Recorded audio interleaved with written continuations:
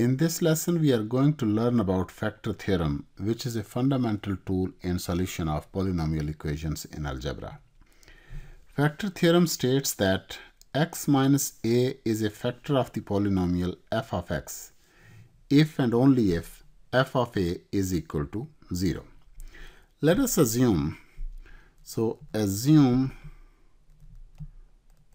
assume that g of x is the quotient is the quotient and r is the remainder. R is the remainder.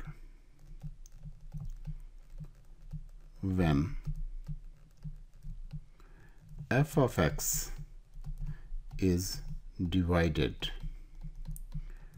divided by x minus a. Then obviously we can write f of x equal to x minus a time g of x plus r. This is exactly same when 15 is divided by 4 and we have 3 as quotient and then this 3 is the remainder. So this 3 is called the quotient Q U O T I E N T. And 15 which is f of x 15 can be written as 3 times 4 plus r whatever is the remainder which is 3 in this case just the same way, here f of x is equal to x minus a times g of x plus r. Now, in statements like this, where if and only if is involved, we assume one part and we prove the other part, and then vice versa. Now we are going to assume that x minus a is in fact factor of f of x. Now, we assume assume that x minus a is in fact factor of f of x is in fact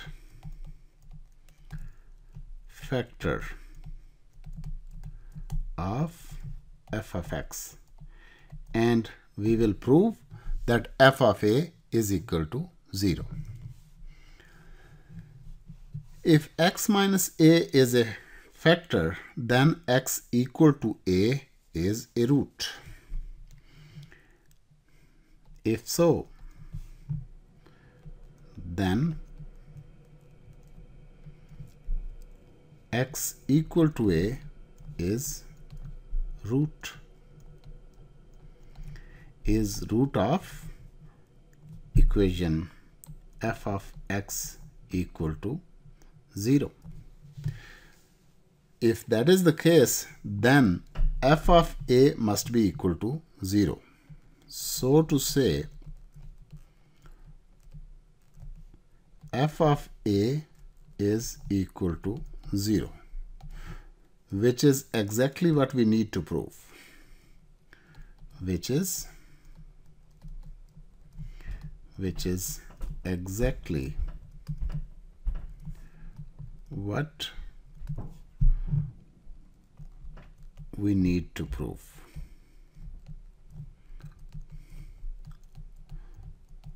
So we assumed that x minus a is a factor and we proved that f of a is equal to 0. Now conversely we are going to assume that f of a is in fact equal to 0 and we will prove that x minus a is a factor of f of x. Conversely, conversely, let f of a is equal to 0. Then, if that is the case, then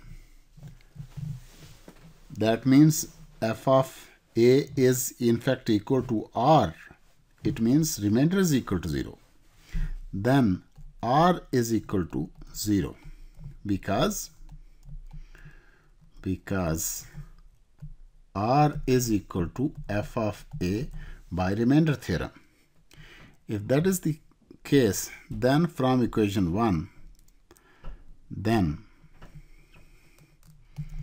from equation 1, f of x is equal to is equal to x minus a x minus a time g of x plus 0 because that's remainder r. f of a being equal to 0 means r is equal to 0 due to remainder theorem as we discussed before.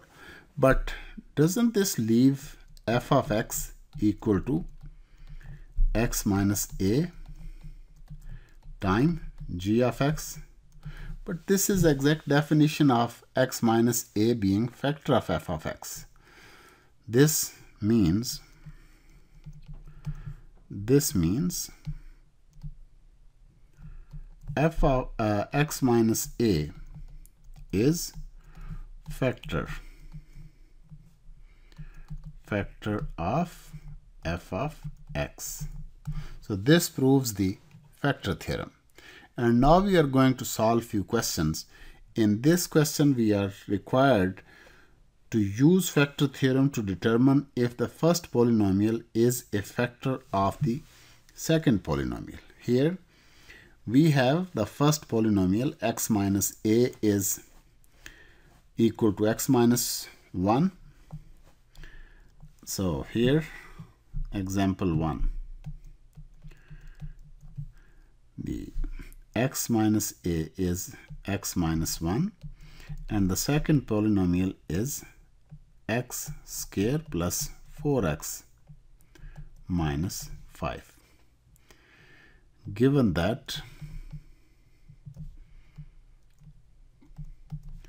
f of x is equal to x square plus 4x minus 5. Now we will calculate f of 1. If f of 1 is equal to 0, then we can say because of factor theorem that x minus 1 is factor of x square plus 4x minus 5. Since f of 1 is equal to 1 square plus 4 times 1 minus 5 equal to 1 plus 4 minus 5 equal to 0. So x minus 1. So x minus 1 is factor of factor of the given polynomial. Given polynomial.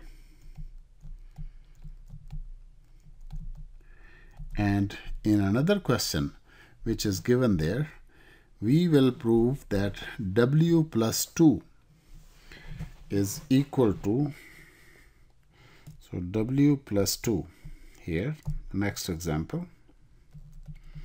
Example 2 here it's w plus 2 and the second polynomial is 2w cube 2w cube plus